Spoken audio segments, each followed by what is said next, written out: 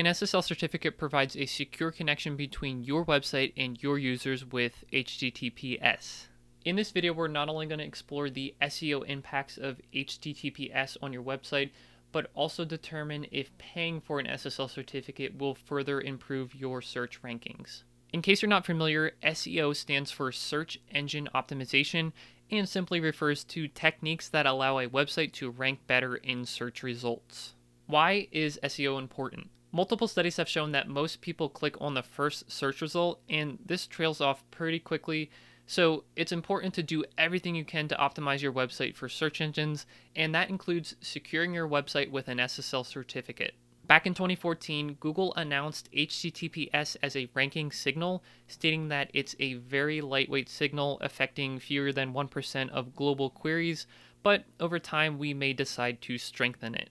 That was nearly eight years ago, and as far as anyone can tell, Google is still using HTTPS as a lightweight ranking signal, and John Mueller from Google actually reiterated this back in September 2020.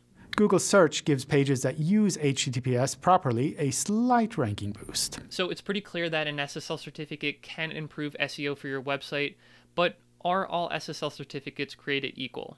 There are domain validation, organization validation, and extended validation certificates, some of which are free and some that you have to pay for.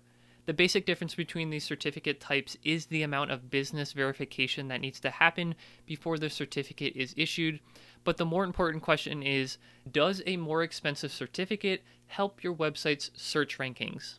Our buddy John is back with more Google wisdom to answer this question. Do you think different type of SSL is also important for SEO? No. Or just free SSL or enough? free SSL is is perfectly fine.